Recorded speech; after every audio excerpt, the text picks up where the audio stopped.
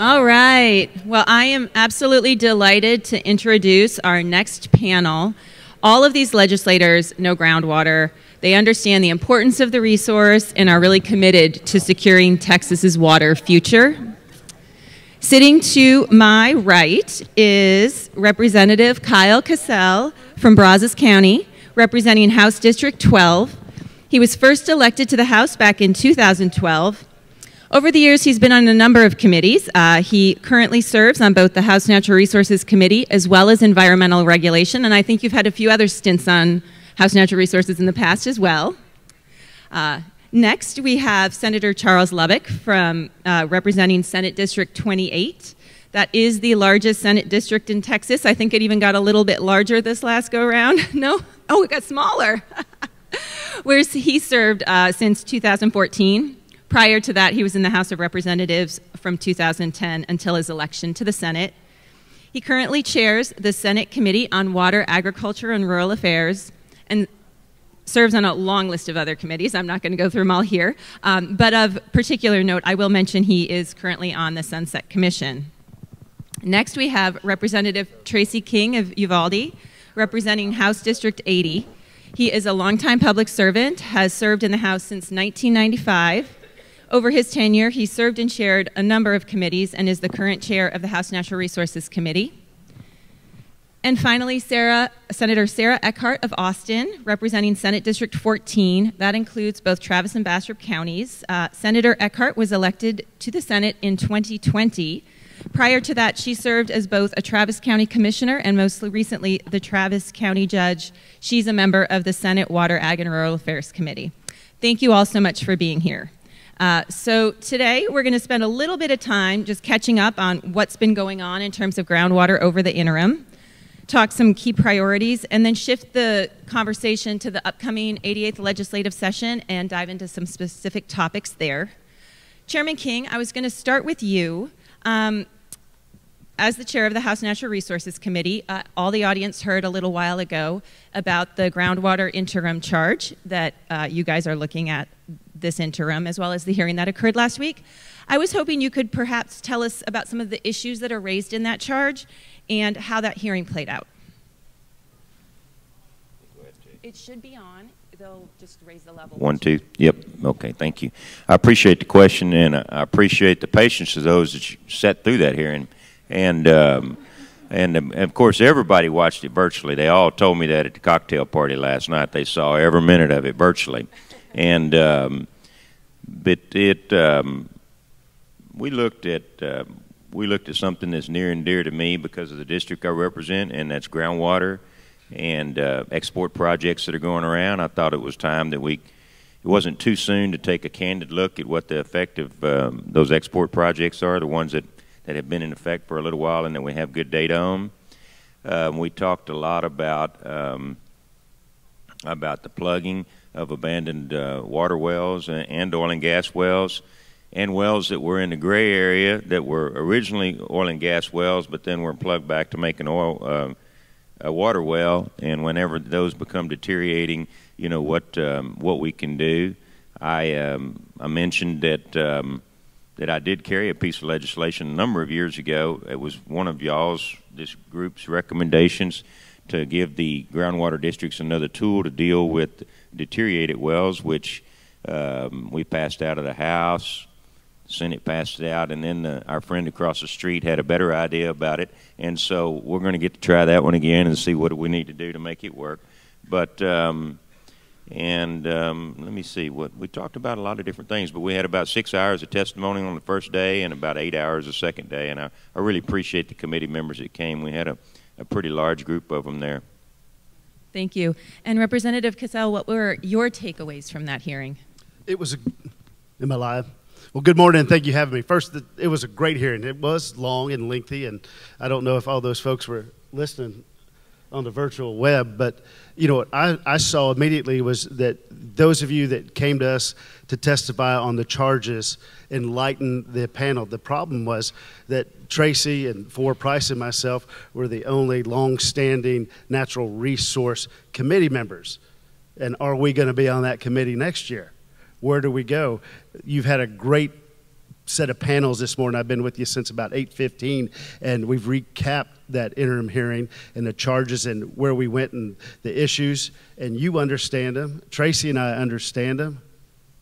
But there's 148 members of the legislature that Mr. Sledge pointed out that we'll, we'll know who those are, individuals are on November 9th. And so together we're going to have to educate them because they're not all water savvy, nor is water savviness a hot political button. We're in a drought. We got an incredible amount of growth. Where are we going to go next? A lot of good ideas, but that's a lot of members of the Texas House to educate on water. As I look out there, just so you know, I look at it, Vanessa, and water aquifers are infrastructure. This session will be focused on infrastructure. It's like real estate, location, location, location. This is going to be infrastructure, infrastructure, infrastructure, and water is the key to that. And in front of her is my good friend Wayne Wilson, who got me involved in water issues as a Farm Bureau president in Brazos County when we formed the Brazos Robertson Groundwater District, and Robbie Cook with his incredible sage advice. You know, I've been kind of put into the fire on this, and thankfully ended up in the legislature and had three speakers give me the confidence to be on natural resources to serve and work with you. So we've got a lot of work to do, and I'll stop there and, you know. Well, and I'll say, you know, that was a very long hearing, and um, in addition to having the, the experience, you, Representative Price, Chairman King, were there listening actively for the whole thing. And that's a lot of listening. so we do appreciate that. Um, so, Senator Perry, I was going to turn to you now. Um, your committee also has a groundwater charge, and understand that there's going to be hearing a hearing on that coming up in the next few weeks, maybe a month from now. Um, what do you see the focus of that hearing being, and kind of what issues do you want to bring to the forefront? Yeah. So again, thank you for having me here. It's always good to be here. I, I guess what I'm listening is maybe the Senate side doesn't have long enough hearings, Senator Eckhardt. Maybe we need to do that. I, I try to try not to drag them out. Uh, water has three components to it that make it almost politically impossible to do. One, it's expensive. Two, it's long term. And three, it's not real sexy. And as the water taps turn on, nobody believes there's a water issue. So that is our challenge. And I got great advocates in this group right here that kind of get it and understand the need for it, and there's not a sense of urgency talking about water supply, and that's where I'll stay. That's where I've been, and that's where I'll go. Uh, specifically to infrastructure, both energy and water, that'll be a focus for me personally, as well as the hearings that we have. On the groundwater stuff that's come up since last uh, session, if you will, and over the interim process, Vista Ridge, I think, is on everybody's mind. for those that don't understand where I come from on that, I've always been about the science of the data. Now we've got as Chairman King said, we've got some uh, data now on exporting of water that we thought the science would would support that region's ability to do that, and we're finding out that maybe, just maybe, that was a little bit off, and we got people with wells drying up. So, conversation about mitigation funds and how do we work that into a scenario where, in the event that those cases will happen, and the more Texas grows, those are going to be more commonplace than we'd like to admit. We need to work on how do you how do you handle the downside of that for those owners left behind? Uh, the cost of water, it, and we've said it a hundred times in here, and you people understand it better than anything, has always been too cheap. And if we're going to actually allow you to move water out of a per, out of a region, which personally I can tell you, when you export water, you expect the future, you export the future of that community normally. But if you are going to do it, and the law allows it, and I'm supportive of private property rights that get you there then we need to have the cost of water on the front end to have a separate kind of funding vehicle for those that don't have the option to move when those events occur. So that will be one. And then infrastructure from Winter Storm Uri. Uh, estimated 143 billion gallons of water a year goes into the ground from leaky pipes. We're working on some what does an infrastructure fund to maybe leverage with our 8,000 water supply systems around the state that could hopefully start replacing 60% of our almost 60% of our pipes in the ground are at or above useful life by a long shot.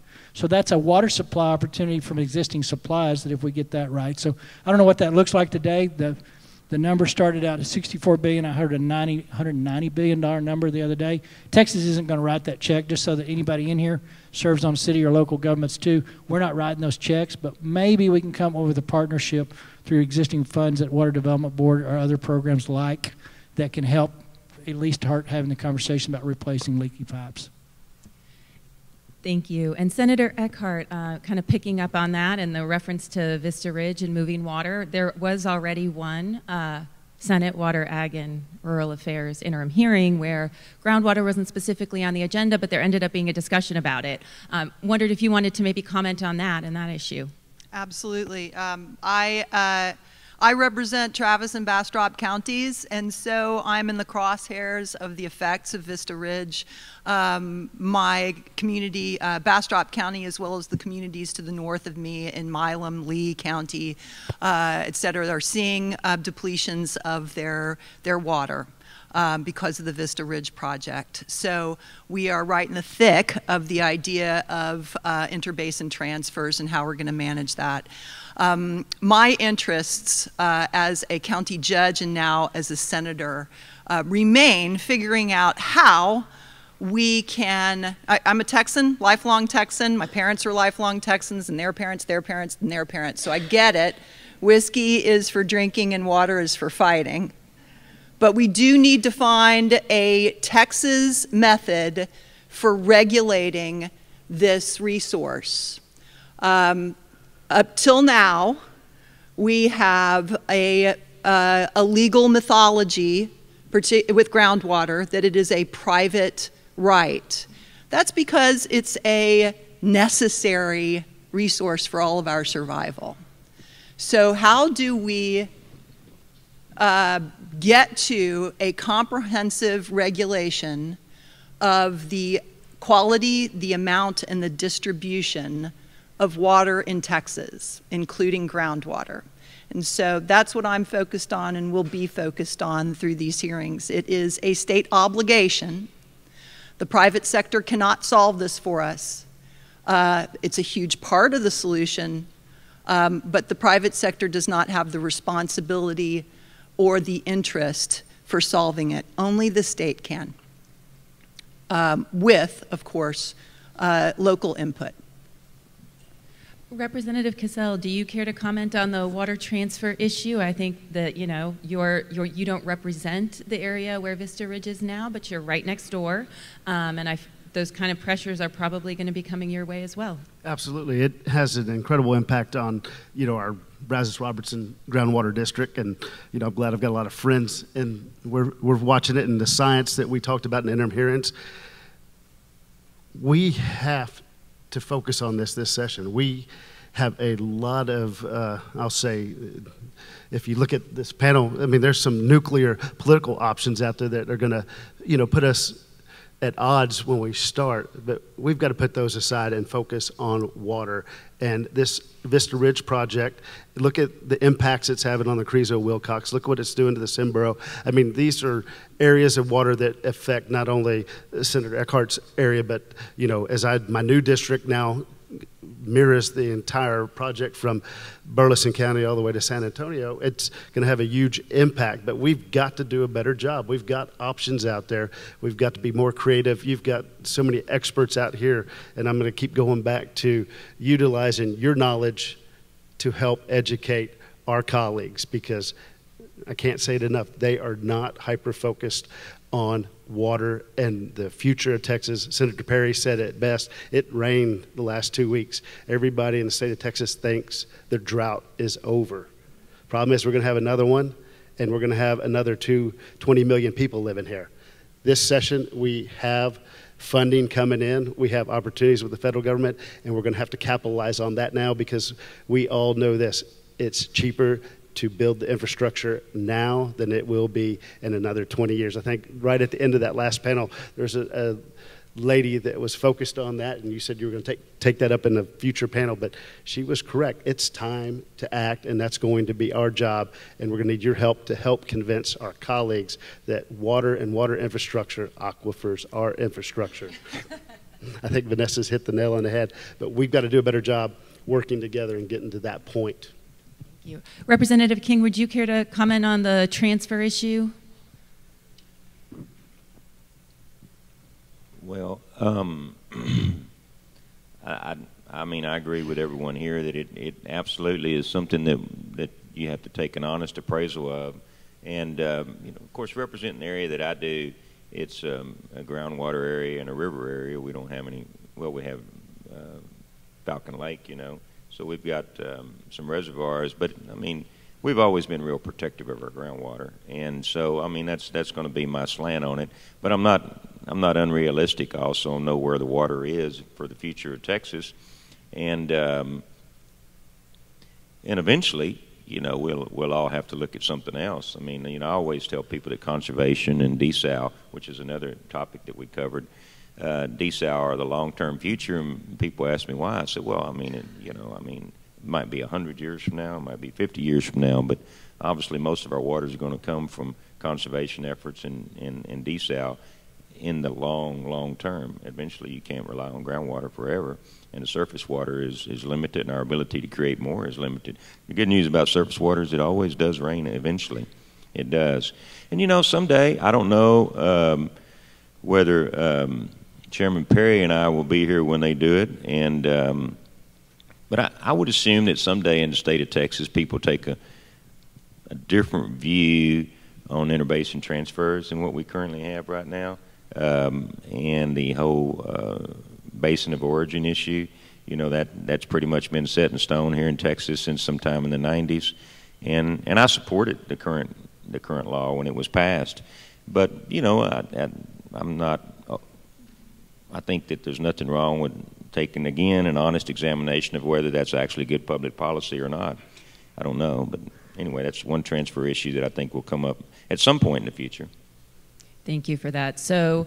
Uh, Representative Casella, you mentioned, and, and, Senator Perry as well, the drought, and uh, I would want to talk about that a little bit more here. We had an incredibly, incredibly dry summer, and yes, now it's been raining for two weeks. Um, the drought monitor, though, I mean, we still have 43% of the state, even after these improvements, in abnormal or extreme drought. Um, and in addition to the water is for, you know, whiskey is for drinking, water is for fighting quote, the other one we often think about is never let a good crisis go to waste, right? And so did we already miss our window with these rains? I hope not. Um, and I would like to talk about drought and its impact on the upcoming session. Uh, Representative Kacal, why don't we start with you? How do you see it specifically impacting the upcoming session? you know, I, I, hope our colleagues remember it. To, to, your point, they forget about it. Uh, but we do know we have another drought coming we've got to do a better job of preparing. So when Chairman King talks about uh, conservation, uh, ASR projects. We talked about this this flooding event that we're having. How are we not mitigating or utilizing this floodwater? Is uh, I think about my good friends Trent Ashby and uh, I've already missed my good friend Lyle Larson when they fight over the Commonwealth of East Texas and all the water over on that side of 59. How do we utilize this water? You know, we don't want to give it up. We have private property rights, but when we have these flood events or have these huge rains or a tropical storm, you know, I think of our Navasota River Basin between Lake Limestone and the city of Navasota, roughly about 80 miles of flat terrain that will hold water for months. How do we put that water in the transfer portal? How do we utilize that? I mean, we're going to have to be creative. There's a lot of ideas. You out there are a lot smarter than I. We've tried all kinds of legislation working together, but we got to make sure and ensure that Texas succeeds. And the only way to do that is to make sure we have water when the next drought does come. And our colleagues are going to have to get on the water education train quick. Absolutely. Senator Perry, what should we be doing? What should we be looking at um, to take to take advantage of? But you know, to at this moment, so that we're better prepared for future droughts. So, the only real benefit of having a drought is a reminder that we don't have a real sustainable water plan in Texas that works in practice. So uh, you just don't want to let that opportunity pass. The last significant water legislation we did outside of the Harvey flood relief packages was the SWIFT, and it came in on the heels of a major drought. Uh, so we have an opportunity now. I think we have enough industry segments running into this state every day that are demanding to know that we have both electrical and water supply. And if we're honest, the water supply conversation uh, may not be being fully answered by the data behind it. So um, they're going to start asking those hard questions too. I think as continues to grow. So We just need to seize the day on the on the on the conversation that gets politicians excited, and that's jobs and creation and, and, and opportunities. I don't know that we've connected those dots well. So I've called out the water plan very clearly. Senate Bill 1511 said, in our water plan, there are things in there that everybody says check the box and we're good on that in practice may not come to fruition. I don't do that to be a mean guy. I do that because one, I don't want to ever mislead people. Two, I think Texas has to be honest about opportunities for future water supply. And if we're planning on it and relying on it, other people are too. It has to be in practice. It has to happen. It has to be a reality check. So, so I'll continue those kind of calling BS, if you will, on a little bit of stuff. It's good that we have a plan, but it's got to be a real plan of getting us there. As far as the drought goes, agriculture, you know, the good news is your fillets should go down. They're they're auctioning off cattle and, and wholesaling cattle out right and left up in my area because they can't feed them out because it's the drought. Um, cotton in my area is king. I think 70% of the crop is not going to make this year.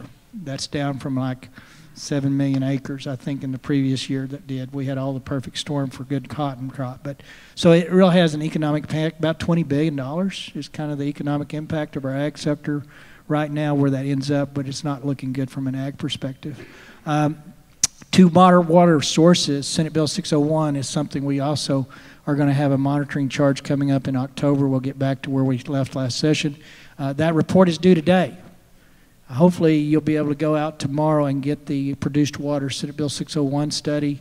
I am encouraged with what I'm hearing about it. It literally has an option to provide more acre feet than we need in my West Texas region of the state if we go down that road and get a pilot project to proof of concept and put it up. So next session, I'll be asking for funding to prove out that concept of Senate Bill 601 for produced water uh, pilot study. But what's frustrating to me about water, and, and, and it's we have the solutions today that do not require industry, a, a, a effectively closing out of an industry to meet our future water needs.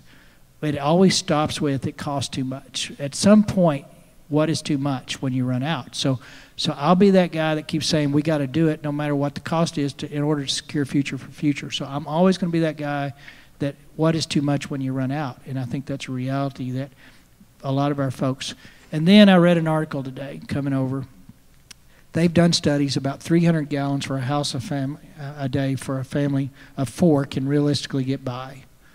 And that statistically, there's some households using 17,000 gallons a day. It goes to something Chairman King said.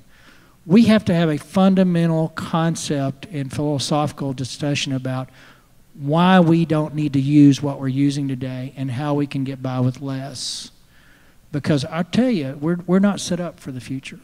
And back in the 50s, 60s, and 70s, and 80s, and farmers, I see Ronnie Hopper over there from my area, they had a different conservation philosophy. Once row watering was kind of, that's not a good idea, let's do something different. From that point forward in history on our stewardship of ag, they got to a conservation minded place we've got to start teaching our kids and our, and our folks that water is not something that's automatic and it's a guarantee. It's actually limited resource. And we've got to do a better job of educating people. You can't just turn on a three, three acre plot for St. Augustine and run five wells to get it. That, that's got to stop. The development side of this has got to have an honest question. We can't just keep letting development happen. I heard the last panel was in that conversation. So we, we got to do better on those on those levels. We've got to have some conversations, and the longer we defer it, the less water we have in the future. So, Representative King, we've heard a bit about the the turnover at the legislature and losing a lot of institutional knowledge. You being someone who's walked the halls for more than 20 years, how do we how do we get the legislators to really understand and care about these issues? Well, and um, and of course we, we never know what committee we're going to serve on in the next. None of us do in the next session of the legislature. It's up to the lieutenant governor and the speaker where we get to serve. We only make the request and, and hope that they they um, they honor those and to the best of their ability that they can. But so I think that, um, and of course, the drought, candidly, as harsh as it is, helps us bring attention to it. And I think that so many of our cities and communities, regardless of how large they are, even in Austin, where Senator Eckhardt is, have huge infrastructure needs. And when I speak of infrastructure, you know, some of the communities I represent are talking about secondary water sources being infrastructure. When I speak of infrastructure, I'm talking about the pipes in the ground and the water processing plants that are there that are losing half their water as we speak. And so um, I think that we need to make a huge focus. We have a year to do it. Of course, we've got you know a 27 billion dollar um, surplus with you know five times that many requests. But I think that we have a good time to make a serious concerted effort to try and assist communities, uh, particularly rural communities that simply can't make the kind of matches that the Water Development Board and that the, the voters have required us to make. And so I think by focusing on the improvements for the infrastructure, reemphasizing that the drought is here and uh, that we will be able to get a lot of folks in there. I know there's some efforts to create a water caucus and things like that that will also help educate people, and, and I'm hoping that those will. But there's no question that we need to recruit people to the Natural Resources Committee. It's historically one of the most requested committees in the Texas House of Representatives, sometimes the most requested. And so um, we hope that that's the case again, and I think it will be you. Senator Eckhardt, would you like to share any thoughts on, on the drought and kind of harnessing that in the upcoming session? Sure, I've heard droughts described as a slow moving natural disaster.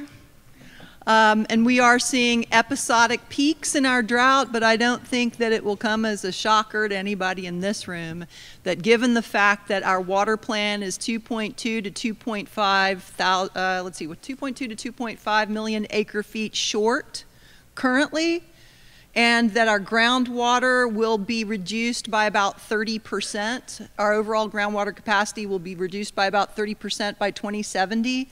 That uh, uh, laying aside our episodic 50 days straight of triple degree heat, we are in an ongoing drought. And so we need to treat this as the emergency circumstance that it is and not lose attention when it starts to rain. So our job as public servants are to keep the eye on the ball so that we can be effective, efficient, fair, and minimally intrusive and run like your dishwasher, quiet in the kitchen, you get up in the morning and your dishes are clean.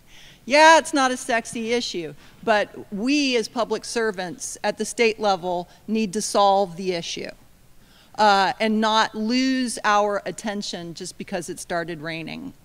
So I'm new here. I'm new in the Senate. Uh, I think probably I was put on um, water, agriculture, and rural affairs because they thought it was hilarious to put the state senator from the city of Austin there.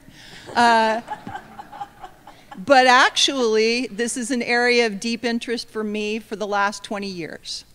And as a land use attorney, uh, and as a commissioner and a county judge, um, in a central Texas region that is transferring water across county lines and is in protracted warfare over it.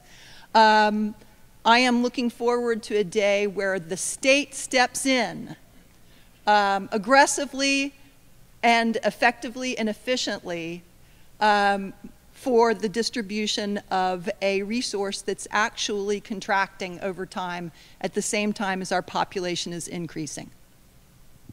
Thank you for that. Okay, the I think perhaps the dishwasher analogy should be part of, you know, like the speaker and the lieutenant governor's pep talk when you open session. All right, guys, let's operate like a dishwasher.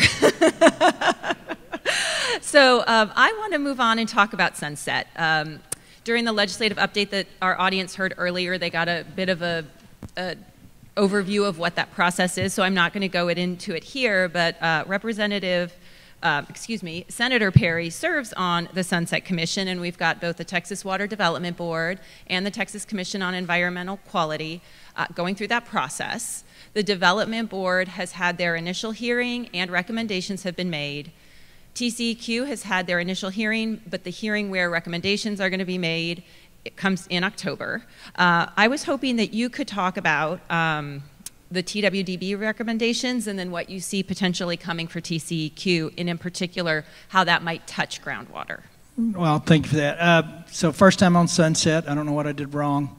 Um, and I didn't know why you were on my committee, but now I know. But I, you know, there, it all makes sense now. But, but uh, in truth, and, and, and I think you have a little element of truth in that maybe, but you have been a great asset because I live in an area where urban issues are not quite as prevalent, so it's good to have that. It's why the process works.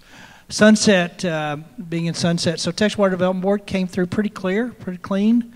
They do a great group, uh, great organization. I had made a recommendation that uh, Senate Bill 1511 I spoke to earlier about a water plan needs to be real, needs to be realistic and actually feasible to happening. It had not been implemented since 2020. We had a hearing that it was supposed to be. Now there was some disagreement of when that could occur or not occur. So I made it clear through uh, Sunset that Senate Bill 1511 has to be part of anything going forward and actually retroactive uh, to, to go back through that water plan process, and it was intended to be that way. So I just cleared that concept up. As far as just how they operate in things, uh, they came through really well.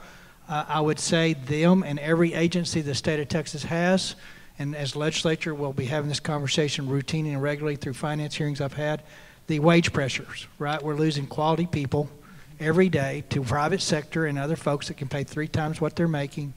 And so we're losing historical knowledges in these agencies that is critical to have on board. So we have to find a way at the state level to incentivize. It can't always be a paycheck to give people the, the, the, the, the desire to continue to work in those fields. So Water Development uh, had, had some good stuff come through from TCEQ was under some really hard uh, scrutiny, I think, on some level.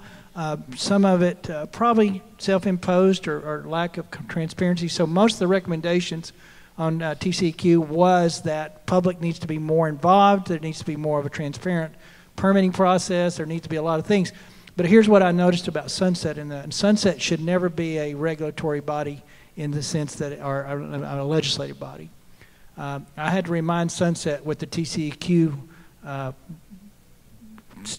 stuff that they were upset or recommending on, those were policy decisions. So we pulled back almost all of the TCQ sunset recommendations or, or concerns as more of a overreach and scope of what Sunset was supposed to do. So we pulled those out. Several of them will be revisited, I think, through the legislative cycle. They probably do need to be looked at. I am tweaking a statute that has an inconsistency in it that created some problems for TCQ. Specifically, the one that I think applies to y'all and y'all's world and my world as water chairman was they were going in and going to effectively clear any uh, outstanding uh, surface water permit that had not been used, I think, for 10 years. Uh, way overreach. That's not a sunset job. That's not where that belongs. That's a policy decision.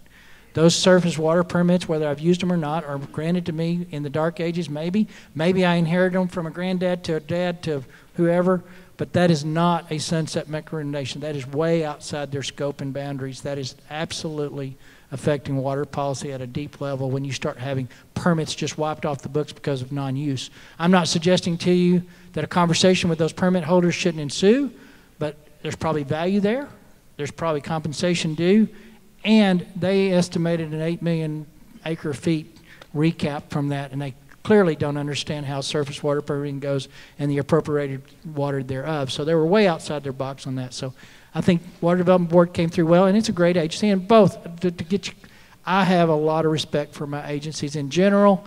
I don't know across the board of agencies that don't do a good job and have hardworking people doing a lot for very little when compared to their counterparts in the private sector. There are those anecdotal one-offs that we deal with as legislatures, constituent calls, but our agencies have a lot of people. PUC was another one. It was kind of a water session. There are elements of PUC that's coming through uh, the sunset process that I'll be involved in too. So that's Sunset 101, I think. Yeah, thank you for that. So, Chairman King, you've been through the sunset process, over seen agencies go through it. Just curious if you'd like to comment on the process or what you see coming for those agencies as those those legislative bills make their way through. Well, uh, it's an appropriate question because it's no secret among my colleagues that I have concerns about the process at Sunset. And so I am uh, so grateful. We're kindred souls here more than I knew, Senator. Um, and um, I actually filed an amendment to the Sunset Bill one time, or to a bill that was going to strictly limit the function of Sunset to pass or fail type things for agencies and um, and I got some attention on the floor, and it was my intention. And then it occurred to me that I was probably, you know, using the sunset process to make a policy or something, you know. And uh, but I, um, I, I, I had no doubt that Water Development Board would come through this thing unscathed, and uh, TCEQ is. By the very nature of what they do, is controversial with the public, and so you're going to get a lot of public outcry about that. And and it, you know, we constantly have to remind people that TCEQ is a permitting agency. It's not a decision. They don't, you know, they don't decide whether that landfill should be there or that thing should be there. It's it's or if it's you know good for the community, it's a permitting agency, and if people meet the requirements and it's environmentally appropriate, well then they'll get a permit. Unless you know, people always ask me, so well, how do we stop that landfill or whatever? And I said, well, you bankrupt them. I mean, that's what you can do. But the ones today are big enough where they, they know what they're in for. But, but so I am a big believer in that the sunset process, and I have a great deal of respect for the men and women that serve on it.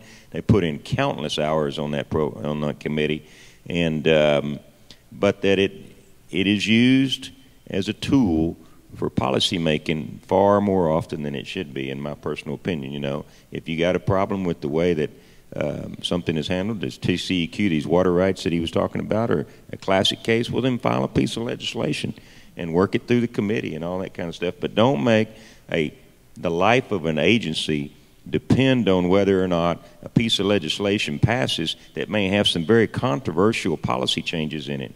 You're just using that as leverage. And I understand that sometimes, particularly for legislators that um, haven't managed to acquire a lot of leverage, that that's their only opportunity sometimes.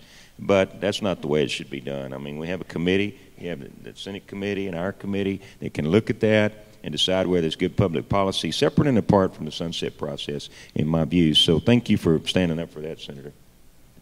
Thank you for that. So maybe kind of still talking about our water agencies, but zooming out a little bit, focusing less on sunset. Senator Eckhardt, I'd be curious to hear kind of your perspectives on the roles of those agencies and what you know resources or tools you may think they could use to do their jobs better, to do more. Sure. In my in my private uh, in in my prior life as a lawyer and as a commissioner and as a county judge, I um, I had um, SOAH hearings with TCEQ.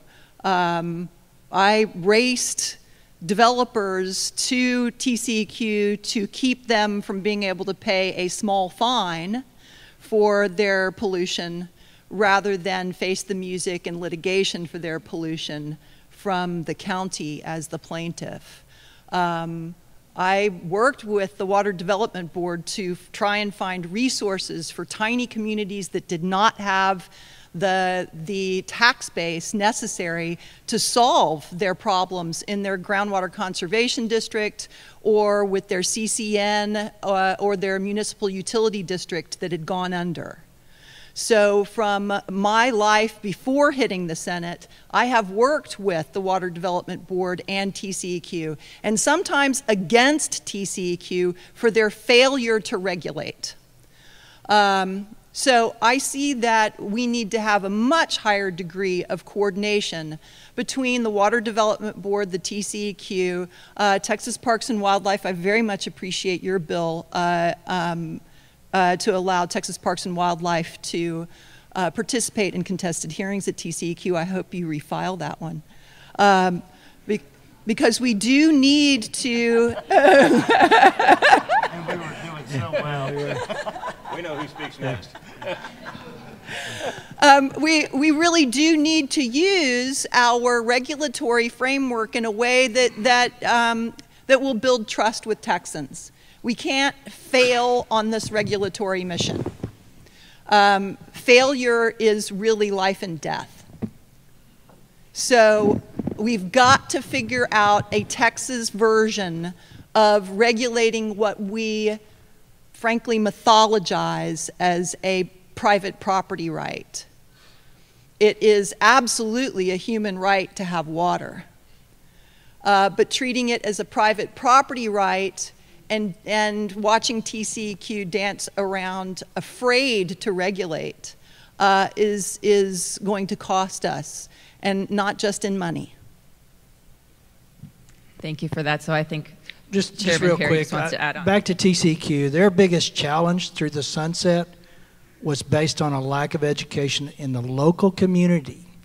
So we had a big brouhaha, if you will, from constituents in one of the largest counties in Texas, if not the largest, over noise and traffic and air quality. First of all, n- noise and traffic is TxDOT. Secondly, that permit that allowed the concrete plant that came into that community was a local permit. So when you have unincorporated counties such as Harris, and you have all these regulations and rules that have no continuity of interest between the people. So uh, they were getting, TCQ was getting the brunt of, you're not regulating these concrete plants or whatever, sand plants back in the day. And that's a local ordinance that allowed those permits to exist. So TCQ has a, a little bit of education, I think, to do that. Here's where we stop and start. We're doing, one of the recommendations, recommendations is a portal on every permit to allow people to interact, where TCE can say, that's us, or that's your county, or that's us, or that's your city, to keep them out of some of this stuff that's going on. So that, on the other thing, just in general, I, I, Chairman King and I have committed to a meeting. Uh, you, you know, I'm very cognizant of the fact of the power of a big checkbook. And there's no bigger checkbook in Texas with a 300 billion growing north of that budget coming up. So when you turn agencies into a advocacy at a contested hearing case, knowing that they have the full faith in government of Texas behind it, that becomes a different conversation for the average Texas landholder, whatever right it may be at the question or issue. Um, that's why SOAH is a, is a problem for me on a lot of levels, and I continually file legislation to try to make that process more neutral rather than advocacy for the state position on stuff. So, all that to say is, we need to be really careful when we put agencies in those positions of legal battles because they do have the biggest checkbook in them, and that doesn't necessarily mean that's the best outcome for the citizen. Thank you for that.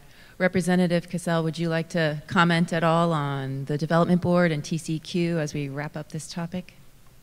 you know, my experience with the two or a sunset process is it's transparent and brings things to light. But the Texas Water Development Board, is a bank and as the permitting side of TCEQ, at my former district, and you know, looking forward to my new district, you know, we've worked well together on the permitting side, and the Texas Water Development Board has just always been an asset. Obviously, they need another commissioner that I think we'll be visiting about soon, and how those commissioners are located and found, and who is uh, meets the requirements. I mean, I heard that conversation last few days. Uh, the sunset process, I think, Sledge, Brian Sledge hit on the nail. As this comes to the floor, what amendments will we have to defend to keep that process pure and focused and make sure we do what's right? And once January 10th gets here, all bets are off. Thank you for that. So, um, moving on now, I want to talk money. Um, it's already been alluded to. Uh, things are definitely looking good for the upcoming uh, legislative session in terms of dollars available. Um, the comptroller just raised the estimate of general revenue um, by almost $14 billion. I had to double check that. Yes, it was a B. Um, and there's also dollars coming in from the federal government through the Investment in Infrastructure and Jobs Act. So definitely money is going to be a topic and, and how to spend it, how to allocate it. Senator Eckhardt, why don't I start with you? Um, you know, this is viewed by a lot of folks as a unique opportunity to invest in water. Um, where do you where would you like to see that prioritized? Um, whether it's infrastructure funding with those I, you know IIJA funds, or or other dollars from the general revenue as well. It's definitely infrastructure funding. I mean, uh, uh, I think the is it the American Academy of Civil Engineers. I think that's what it's called. Gives us a C minus for drinking water and a D for wastewater in the state of Texas. So um, I think that infrastructure is really where it's at. We've really got to take a look at our water distribution mechanisms um, and start investing uh, at the state level. We are investing at the local level. Um, uh, and it is a heavy burden. Um, we, we definitely need a plan for water reserves throughout the entire state of Texas. And that's going to look different in different parts of the state, whether it's desal, whether it's aquifer storage, uh, um, whether it is produced water, which I really commend Senator Perry for putting together. Um, there are going to be multiple different answers, and it's going to look very different across the state. But those investments need to start now. Thank you. Senator Perry, you're on Senate Finance. Uh, you're a CPA. You think about dollars a lot.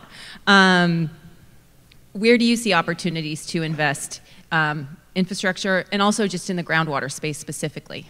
Well, I think you know Texas continues in the last three sessions the biggest budget of the history, and we keep adding to that. There's a lot of reasons for it, and I could go into them. But on the water initiatives, I'm asking for funding for the pilot project to uh, put in a couple of pilot projects on the Senate Bill 601, the produced water stuff, uh, to determine the technology and the, and the cost recovery vehicle and what that may look like.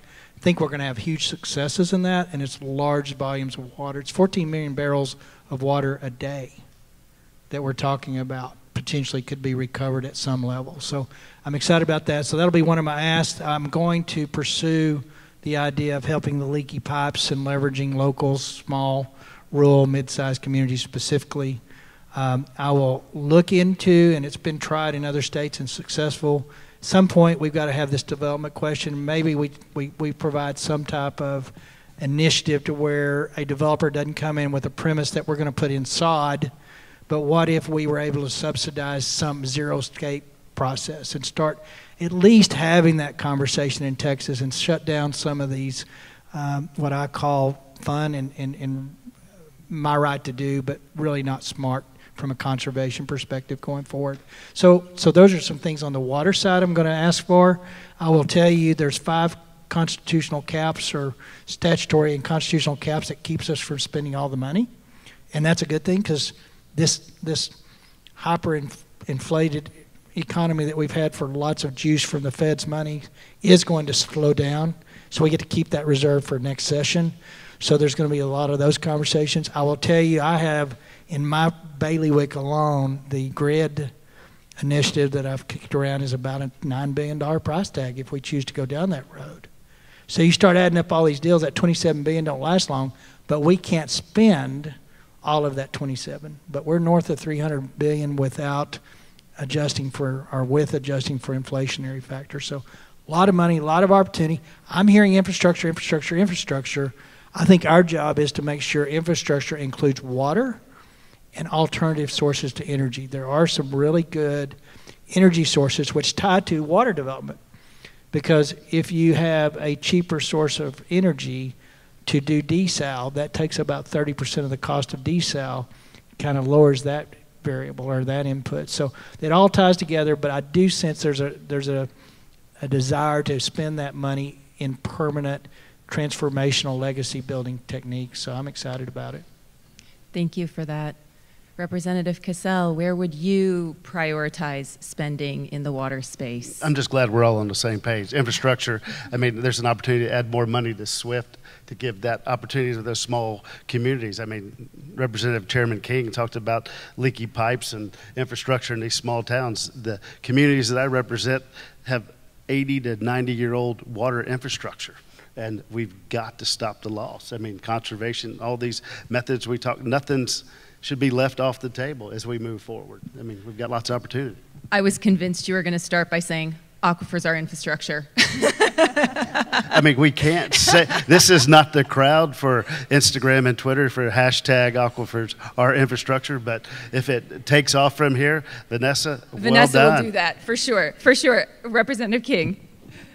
Well, I don't really have anything to add to what was done. It was it's actually been stated very, very well. Um, I am biased, so I want to whatever funds we do have available. You know, I'd like to see them go to water infrastructure to a great extent.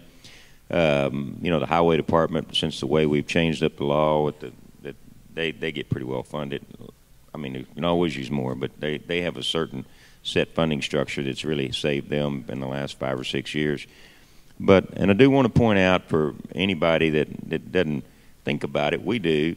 Uh, I've served on appropriations several times and, and bless those that choose to do so. Um, But um, you know, we've got a big government in the state just to run the things that we do, and the inflation that affects each and every one of us in our household is also going to affect the state budget. And so, a big chunk of that 27 billion or whatever it ends up being, unfortunately, is going to go just to pay for ongoing state services and try to keep our our state employees working for us. I mean, there's already discussions as uh, Senator Perry alluded to earlier about the difficulty in maintaining employees, uh, particularly in an area like Austin, Texas. So you know, that 27 billion is not going to be 27 billion for these other needs, but we need to try to make sure that as much of it as we can, we want to put towards water infrastructure and those basic water needs, in my opinion.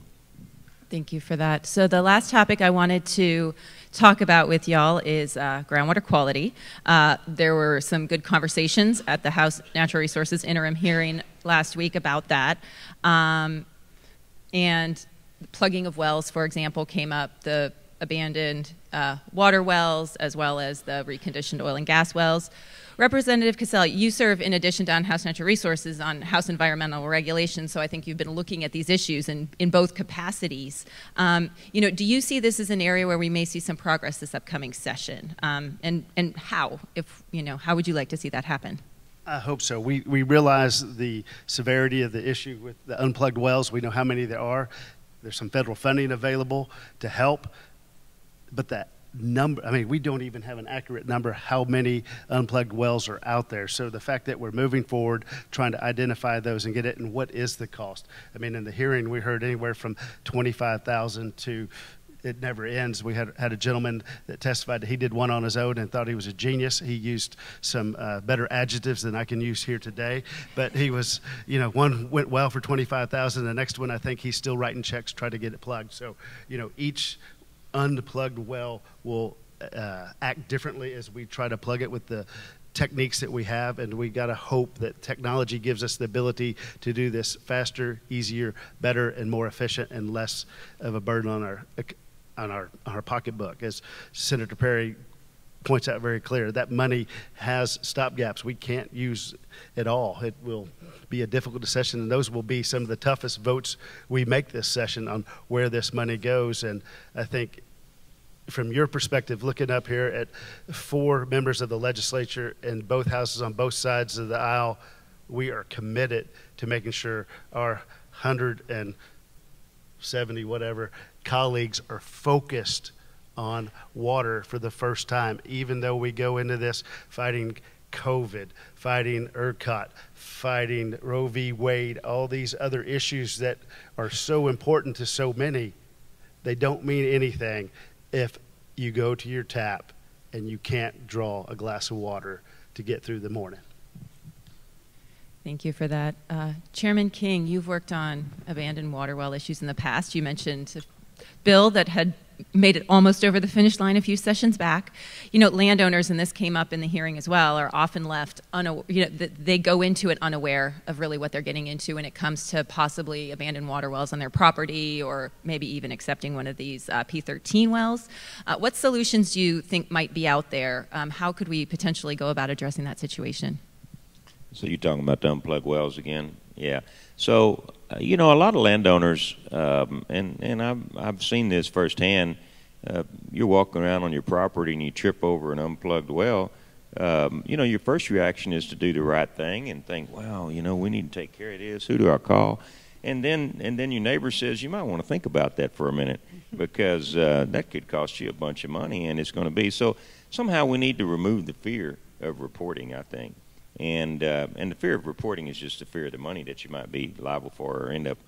And so I think that that's part of it is we need to educate people not to be afraid to report those. But to do that is going to cost us some money. I'm, I'm encouraged. The Railroad Commission claims they're going to plug seven or eight hundred wells, of seven or eight thousand wells a year now. They think they've got a program to do that on the on their end of it. And on the water wells, you know, we need a um, we need to think of some kind of program that we can create for groundwater districts to have a little fund similar to what the Railroad Commission has to uh, plug abandoned wells and starting with deteriorated wells because those are the ones that are damaging the, the, infrastructure. You know, the plugged wells that aren't deteriorated, unplugged wells that aren't deteriorated are one thing, but the ones that are deteriorated, where you actually have water going from one strata to another, those are the ones that are dangerous. So I think we need to start thinking about maybe some way to for the groundwater districts to have some kind of little fund so that people aren't just terrified of reporting one. Senator Eckhardt, your thoughts on that? Uh, we certainly have to address the unplugged well issue. We also have, um, uh, Senator Perry mentioned um, concrete batch plants. A concrete batch plant polluted an entire community's water system on the border between Williamson County and Travis County. It took us years to unravel that uh, because nobody, there was no governmental entity that felt responsible for these people's well having been poisoned by a concrete batch plant. Um, TCEQ shut down their well because it was contaminated contaminated with benzene, and neither, neither county had the authority or the finances to address it. Um, there was no GCD covering it. Um, and it required, uh, ultimately, we got HUD money, uh, CDBG money uh, to assist these folks. But it literally took years. And to see people, it was troubling. They were covered with lesions from using water that had been contaminated by benzene. Um, also, in creeks just east of Austin, um, we have some of the highest levels of fecal coliform because of failing septic. Because such a high percentage of our residential water use um, is reliant on wastewater disposal in septic, that although counties are charged with regulating it, uh, most counties do not have the robustness um, necessary to actually have eyes on the ground.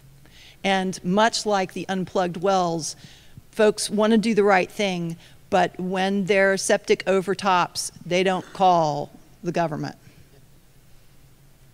Um, so we've got to figure out a way to make a, again, a regulatory regime that Texans will embrace as effective, efficient, and fair that they can trust is, going, is there to help them uh, and, not to punish them, including our, our GCD um, uh, board members. Um, groundwater conservation districts, it's hard to get people to serve on them because they're terrified of what might happen to them.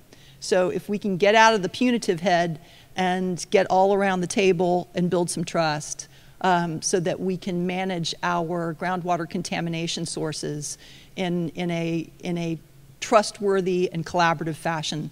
Uh, that's something I'd really like to work on with, with these men and with my other colleagues. Thank you for that. Senator Perry, groundwater quality. Say, yeah, you know, well permitting or plugging. So, so a lot of it's these 60 vintage, 50, 60 year old kind of, or when they came into being. I remember a guy told me, yeah, we plugged it. I said, well, what does that mean? He said, oh, we threw a bag of concrete down around the casing in hopes it holds. Uh, so I think if, and, and, I'm glad that the railroad commissions picked this banter up and seriously and honestly, and we we funded that, right? You know what we fund, what gets done sometimes. So I think that that's a great initiative. I hope they're starting with the oldest wells first. Up in my water district, they really know pretty much where all the wells are as far as the water district goes. They they're pretty good. Uh, secondly, along that lines, I found out through conversations with the people that would know and understand it, the bond requirement for an operator when they shut down and leave is so stinking low.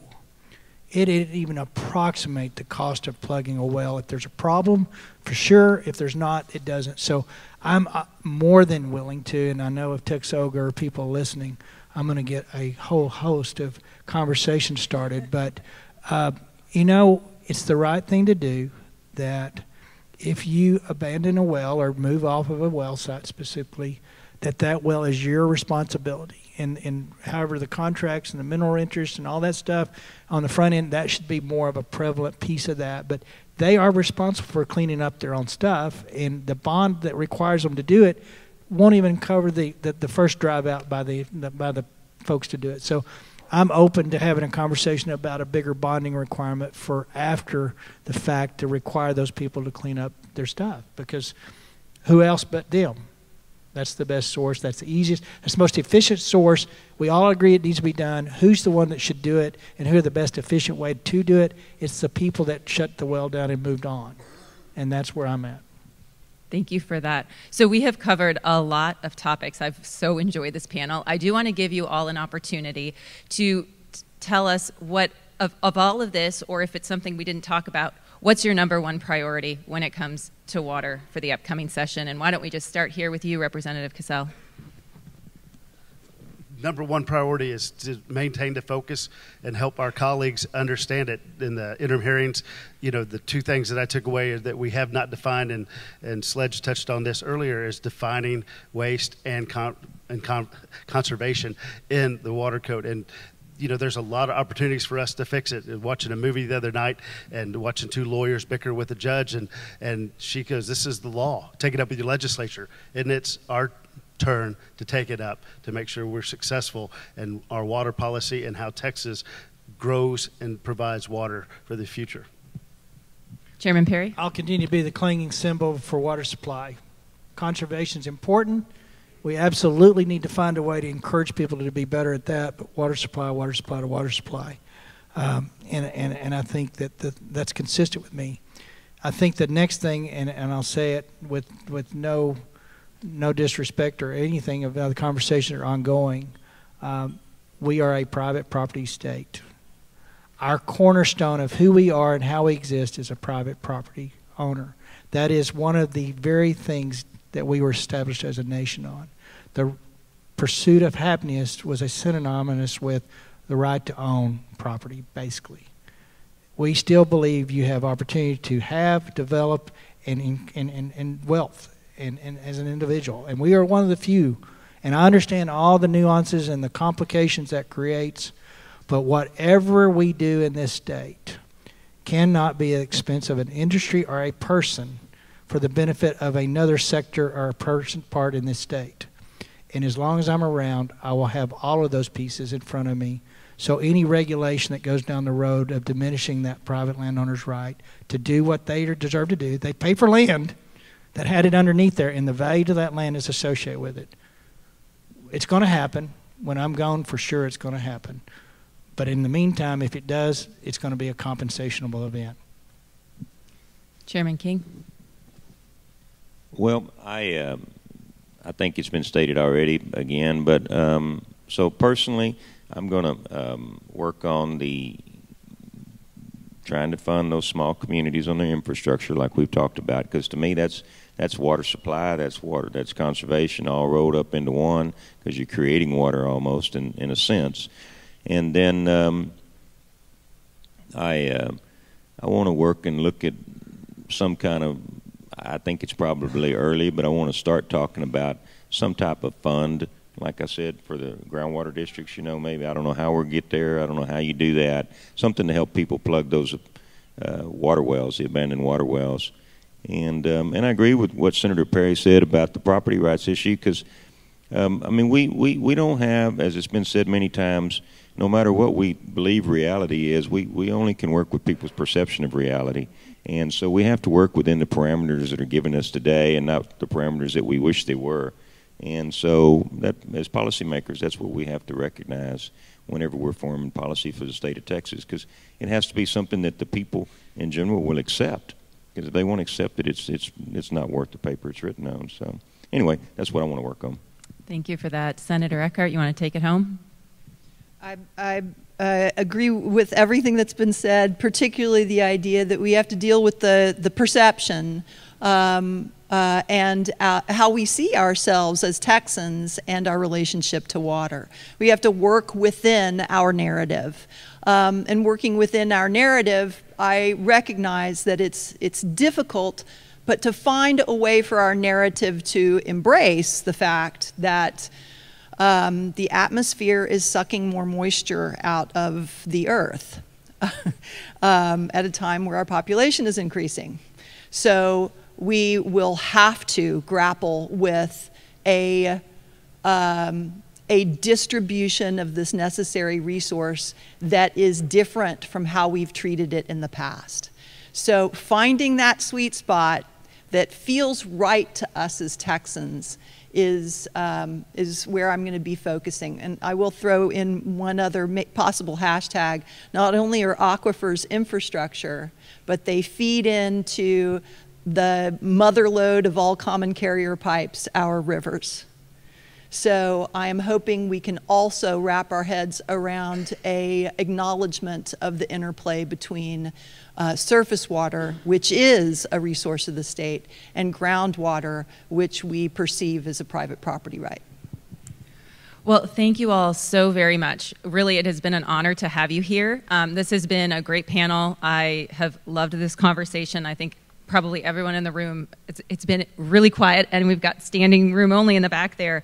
Um, and I also want to thank you all for, for taking the time to be here, but most importantly, for your service and dedication um, to the people of Texas. So, thank you.